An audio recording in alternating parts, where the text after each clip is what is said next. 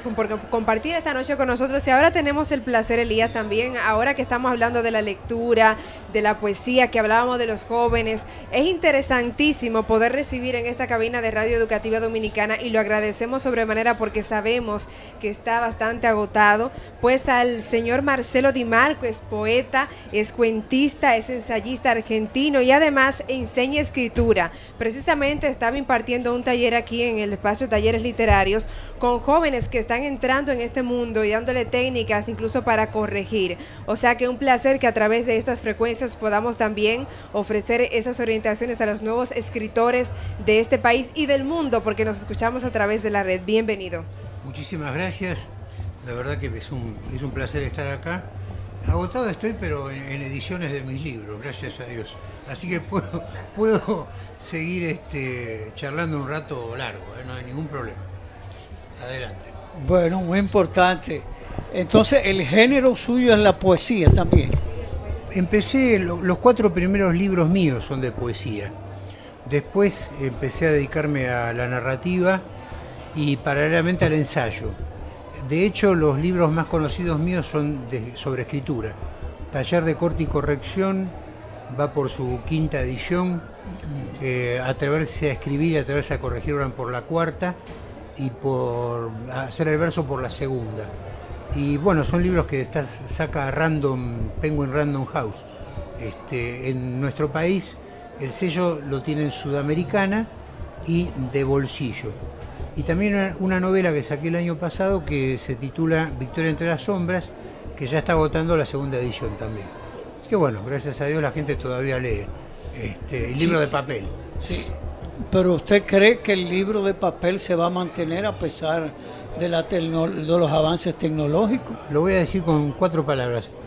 El jeep no reemplazó al camello. Muy bien, muy bien. Bueno, pregunta, Usted ha escrito eh, varios libros, entre ellos acaba de citarlo, el taller, perdón, me interesó mucho el libro de Atrévete a escribir. Eh, ¿Cómo se inicia una persona en el mundo de la creación literaria? ¿Se nace o se hace eh, el escritor? no, no, el escritor se, se nace, pero también se mejora. Esa es la idea. Este, hay gente que nació por una fuerte vocación por la medicina, o por las armas, o, por, la, por el sacerdocio, pero el que nace escritor, que se nace, por medio de ciertas técnicas puede llegar a pulir todo eso que inventó, todo lo que está llamado a hacer, y nuestros libros en ese sentido son eh, instrumentos que la gente está usando tanto en los talleres como en su casa, como en, la facultad, en, los ámbitos, en los claustros. Así que bueno, eso es algo que realmente nos, deja muy satisfechos. Eh, una persona con talento, si no lo sabe conducir, no, va, no pasa nada, digamos. Eh, uno de los lemas del taller nuestro es eh, con tener talento no te alcanza. una de las grandes preocupaciones con las que viene la gente al taller es, y lo preguntan implícitamente y a veces explícitamente, ¿tengo talento yo? Yo lo que digo de talento tienen todos. Porque ya por el solo hecho de pisar un taller para ver si tienen talento, ya hay un talento por lo menos para empezar a conocerse un poco más. Pero lo que les digo al mismo tiempo es que el talento no es nada si uno no lo trabaja. La parábola de, Cristo sobre los talentos es muy clarita al respecto. A uno le da un talento, otro le da 10 y otro le da 100. El Señor, en aquella época, el Señor del campo les da plata, que el talento era una unidad monetaria antes, de ahí quedó talento. Este, al que le había dado mucho, lo invirtió en el banco, le presenta al Señor una enorme cantidad de plata hecha gracias a haberlo trabajado, ese talento. Y al que le dio uno solo, dice, lo enterré en un pozo porque tenía miedo de perderlo. Bueno, ese lo sacó a patadas directamente. Exacto. ¿Por, qué? Bueno, lo que indica esto es que todos recibimos talento. Ahora, si no lo trabajamos, no, no va ni para atrás ni para adelante. ¿Qué significa trabajar el talento? O sea, ¿cómo vemos eso en, la práctica? Antes del taller, Juan estaba muy triste por la muerte de su madre. Después del taller, la última palada de tierra cayó sobre el ataúd. Juan, entre lágrimas, recordó el tiempo en que su madre lo llevaba al parque. ¿Ves? Una persona con talento, pero no sabe dirigir, se queda solamente con la información. Juan estaba muy triste por la muerte de su madre. pero trabajándolo hace que el lector se involucre, se identifique en ese personaje y no solo sienta tristeza, sienta nostalgia, sienta melancolía, cierta incluso cierta inquietud ante la propia finitud, así lo llamaría un filósofo. Este, así que con el talento no hacemos nada. Si lo trabajamos, sí, pero digamos, no, no se puede hacer nada. Y si no lees, menos todavía. Esa es la idea. Porque cuando uno lee puede comparar, puede, puede ver. Así hay que leerlo todo, hay que leer tanto lo malo como lo bueno. Porque así de esa manera uno puede comparar y saber si está caminando por un camino que ya trillaron otros, ¿no? Esa es otra clave, sin eso no se puede. Entonces la escuela es importantísimo, ¿eh? claro que sí. Por eso se, plantean tan, este, por lo menos en mi país, planes de educación en donde prácticamente esto no se ve. Claro que es importante, es importantísimo, pero parece que hoy día están más dedicados a la educación sexual de los chicos que de la educación del talento de los chicos. Muy interesante. Entonces, ¿cómo, cómo ve o cómo plantearía eh, una escuela que se interese más por el talento de los chicos? Bueno, cuando uno ama lo que hace, lo irradia. Yo estuve dando muchas charlas por todo el país en Argentina, me crucé el país de punta a punta y lo que descubrí era que los profesores de literatura no les gusta la literatura. Ojo, a la gran mayoría, ¿eh? a la gran mayoría, no leen nada. Cuando, por ejemplo, uno menciona la, obra Matilda de Roald Dahl, ahí se les pueden iluminar los ojos porque vieron la película. Pero en realidad es, que es como si vos ahora me pidieses, Marcelo, dame 5 mil dólares. Yo no te los puedo dar. ¿Sabes por qué? Porque no los tengo. ¿Me explico? Entonces, si vos, si yo soy un chico que diga, mira, yo quiero que vos a mí me des los libros, yo no los tengo, no te los voy a poder dar. Entonces lo primero que hay que hacer es agarrar y educar al educador. Y en todo caso después educar al de al educando, digamos. ¿no? Claro. Pero bueno, el día que se enteren la, noción fascista de que educar viene del latín dux ducis, ducere, significa conducir, parece que van a empezar a llamarlo de otra manera, lo llamarán instruir, andás a ver. Pero Marcelo, ¿tú no crees que fue que le quitaron la pasión? Claro, sí, sí, sin pasión no puede ser nada, indudablemente. La mejor manera de tener un pueblo sojuzgado es sacarle la pasión y convertírsela en pasiones que tienen que ver no de la cintura para arriba, sino de la cintura para abajo. Por eso se estimula tanto la bailanta, la merca, se estimula el fútbol, por ejemplo, pero de acá para arriba, olvídate, ¿eh? de la cintura para arriba, el corazón, la mente, el espíritu, el trabajo que uno tiene que lograr para no ser un animal, pero eso está totalmente dejado de lado. Entonces se busca la pasión, pero la pasión instintiva básica, no la pasión que nos lleva hacia lo alto, la pasión de lo trascendente. eso es lo que justamente es un manual para crear, eh, viste Circe en la Odisea que convertía a los hombres los convertía en cerdos. Bueno, ella debe haber leído ese manual que estoy describiendo ahora, seguramente. ¿Cómo devolver la pasión a este educador, a esta educadora? Es una tarea, ¿qué te parece? Bueno, primero prohibiéndole que vea televisión, ¿ves? O sea, claro, o sea, cuatro horas... parece a Piero ahí en su famosa canción La Televisión. Mira, Cuatro horas y media, cinco de televisión obran maravillas en la cabeza de la gente. ¿eh? Una persona inteligente se detiene cuatro horas y media, cinco delante de la televisión. Hoy día, como está planteada la televisión, que no, es la caja boba, ¿eh? es lo más inteligente que hay la televisión. Claro. Ok, ¿eh? Una persona así termina con un cerebro del tamaño de una canica, o menos todavía. Y internet también. Bueno, eso todo depende, porque vos fíjate una cosa, la, oferta, acá acaba de mencionar un amigo que está acá al lado, habla de la internet. Yo pienso lo siguiente, el 70% de lo que viaja por internet es pornografía, eh, pero el 30% restante es una opción válida para combatir la estupidez de la televisión. O sea, en la televisión el 70% de lo que viaja es pornografía este, no, me refiero solamente a pornografía erótica, si No se quiere. entiendo, claro. Pero sí es basura el 100%. Entonces, la internet tiene el 70% de basura. Ahora el 30%, bueno, yo gracias a Dios tengo un canal en YouTube que en un año, un año y un mes, porque empecé en marzo del año pasado, logramos casi 3.800 suscriptores y 130.000 visitas. Es una barbaridad. Este, y creo que no es pornográfico. No sé si me explico. Sí.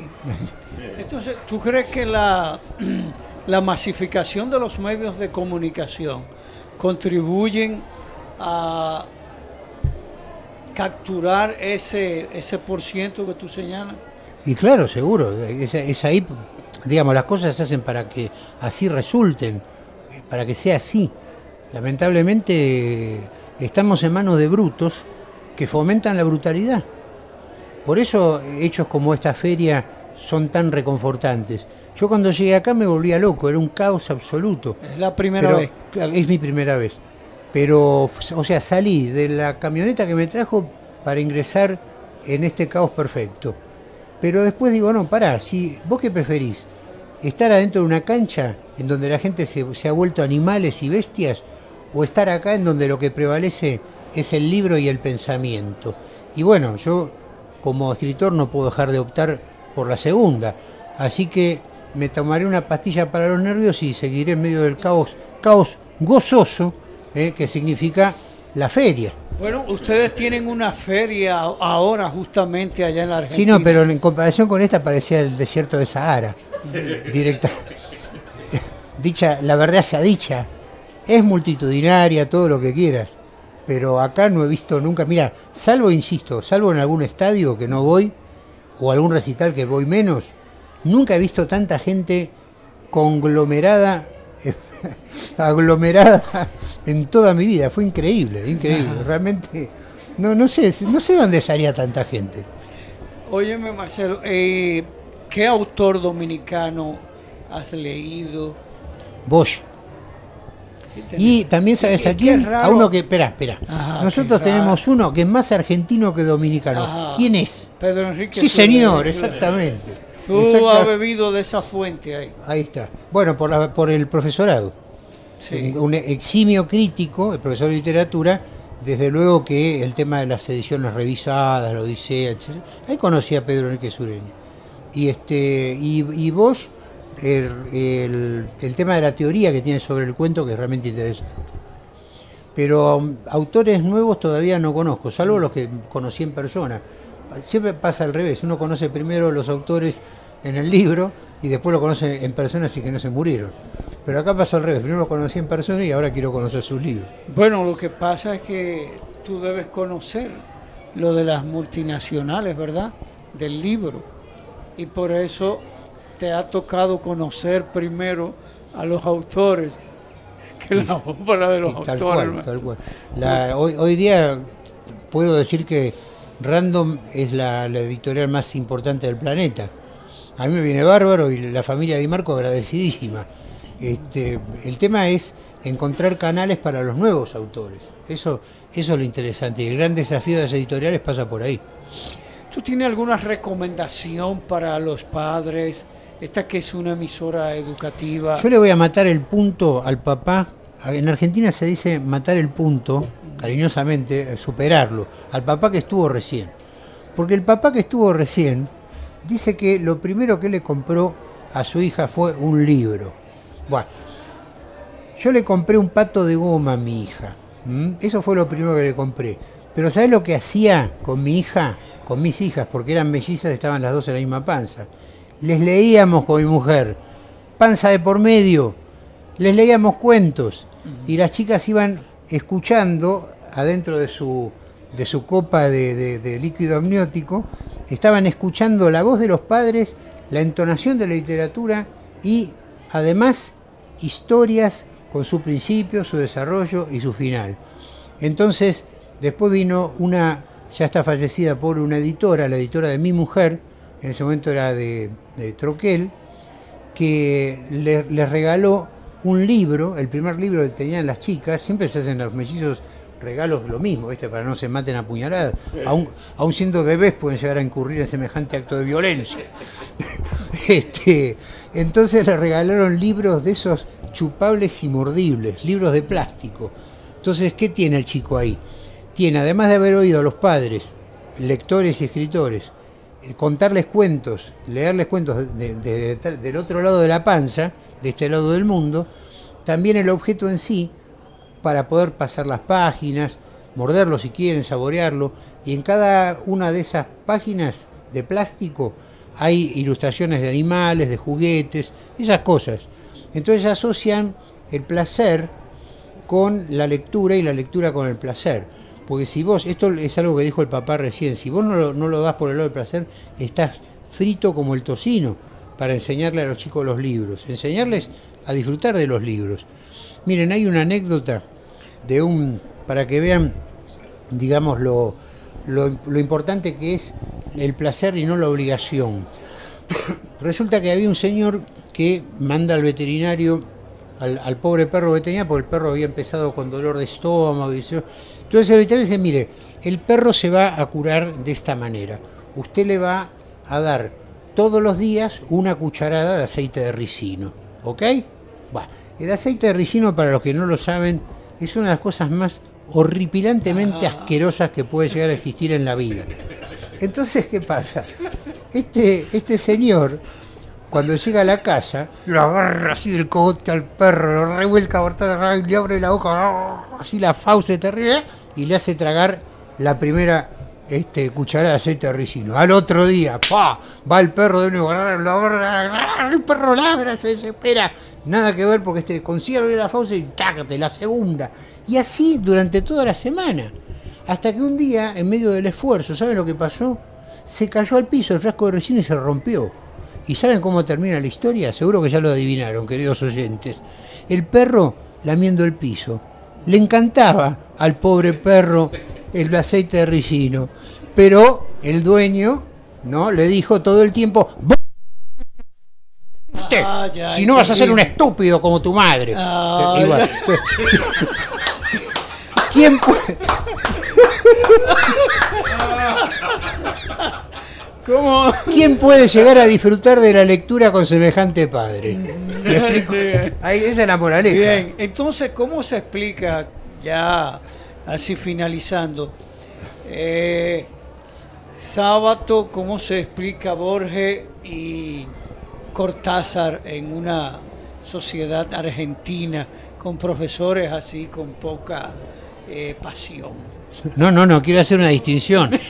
Ah, ojo, ojo. Antes al profesor de literatura le encantaba la literatura, ¿eh? Ojo. No, no, ojo. El mismo, el mismo Cortázar fue profesor de literatura. Ojo, ¿eh? Y, y este y Borges tenía una biblioteca de la gran perra, ¿eh? O, hablando de perro y de biblioteca. Así que bueno, la cuestión no pasa por ahí. Hoy día, hoy día, ¿saben? Miren, yo les voy a decir una cosa. ¿Saben cuándo se empezó a empiojar el asunto? Cuando el maestro prefirió que lo empezaran a llamar docente y no maestro. Parece que el calificativo calificativo de maestro se aplica solamente a los verdaderos maestros. Los demás son docentes. ¿Me explico? Sí, sí, sí, sí. Sí. Ah, mirá. Profesor. Ahí está. Ajá. Saben, miren, la palabra profesor es una palabra maravillosa, porque el tipo profesa la literatura, como quien profesa una religión. La persona, el médico que es un profesional, está profesando la medicina. Ahí está la gran diferencia. El docente, y bueno, tiene tres meses de vacaciones, este, más o menos un sueldito que le permite tirar el mes y punto. Ojo, eh, no digo todos los docentes, atenti, eh. estoy hablando de cierta, cierta franja muy, pero muy, muy importante de docentes y en mi país. Que nadie me vaya a correr al aeropuerto con pancartas. Bueno, entonces tú eres de los que cree que la poesía, la literatura va a permanecer por mucho tiempo a pesar de todas las tics. Podrá no haber poetas, decía Becker, pero siempre habrá poesía. ¿Mm? Esa es la realidad de las cosas. Piensen, por ejemplo, en lo poético. Lo poético excede incluso a la poesía escrita. Una mirada como la de ella, por ejemplo, puede ser poética. Claro. Quiero- Ah, claro, estoy casado felizmente, ¿eh? por favor. Na- nadie vaya a sospechar que vino el porteño avivado, como dicen. Pero ahí está la cuestión, la poesía vive en los hechos, en las cosas, en los gestos, no solamente en los libros. La poesía no va a morir. Va a ser de las últimas actividades que haga el hombre sobre la tierra, pero va, va a sobreexistir, es así. ¿Y entiendes que América Latina eh, busca su identidad en estos momentos? Sí, yo creo que sí. Pero si pensamos que América Latina solamente pasa por la cuestión indigenista, estamos fritos, ¿no? El cruce europeo, eso jamás hay que desdeñarlo, es más, hay que aprovecharlo. Pero si ponemos todo el acento en, en nuestros ancestros originarios y todo eso, estamos mirando la realidad con un solo ojo. Y cuando uno mira la realidad con un solo ojo, se convierte en un tuerto, un tuerto espiritual e intelectual.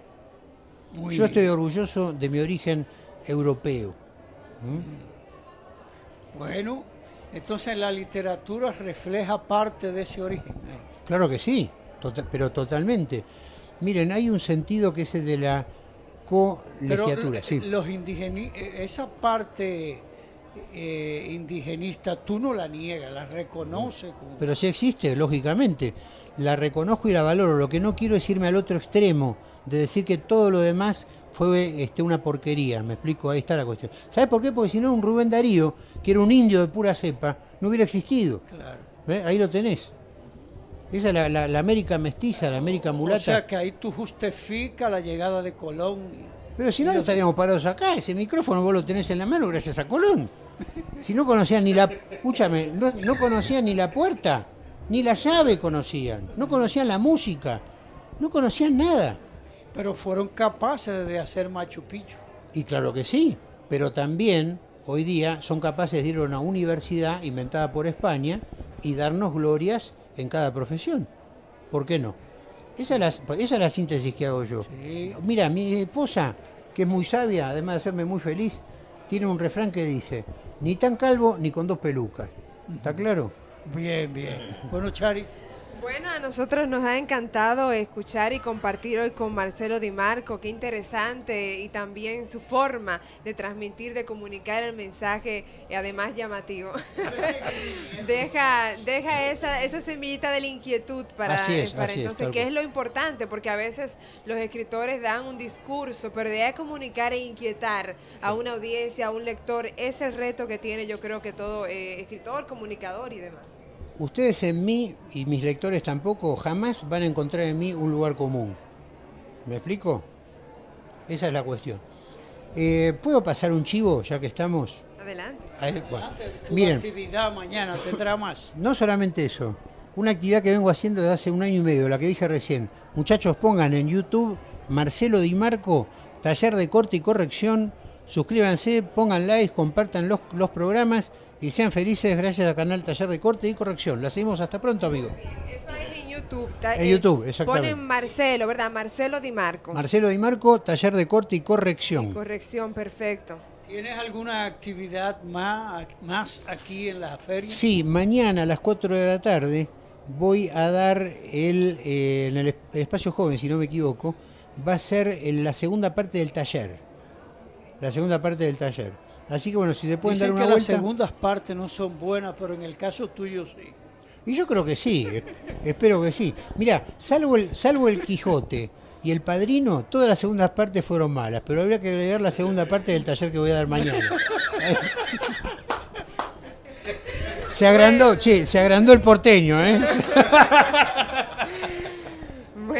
Excelente. Muchísimas Bueno, gracias, Marcelo. Di Marco. Ojalá que también, bueno, mañana o en estos días antes de marchar se pueda regresar por aquí. Será un honor, eh, pues, continuar compartiendo a través de esta radio educativa dominicana. Todo el tiempo. Muchísimas gracias a ustedes. ¿Cuándo ¿eh? te va? Cuando- es que me quiero dejar, pero tú me atraes la... Mira, el, domingo a la noche estoy Oh. llegando a Seiza, así que voy a tener que salir el domingo a la mañana bien temprano. ¿Mm? Ah, bueno. Bueno, o vamos. sea que mañana puedes pasarlo de nuevo por acá. Sí, mañana me doy una vuelta. Si tienen ganas de la segunda parte de la entrevista radiofónica, va. Sí, la segunda parte también puede ser prometedora. Bárbaro, genial. Muchas gracias, muchachos. Gracias a usted por compartir con nosotros. Que pase feliz resto ya de, de la noche, que pueda descansar y estar con las energías necesarias para el día de mañana. Fantástico, hasta pronto. A ustedes, amigos oyentes, pues vamos entonces a un corte, ¿sí? Regresamos en más adelante ya con el final de esta de toda esta transmisión en vivo desde la decimoséptima Feria Internacional del Libro. Adelante, Cabina Master.